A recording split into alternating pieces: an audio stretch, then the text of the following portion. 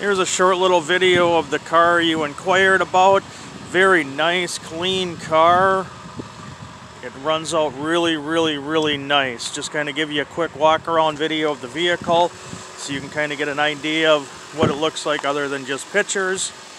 So we'll get you the video, we'll also get you on the inside as well of this vehicle. So you got an idea what it looks like other than just pictures like I said. So here we're going to get you in the back seat and scroll around to the front so you can see. Back seat in this car looks like it's never been sat in before. And then you've also got, there is your front and your dash right there.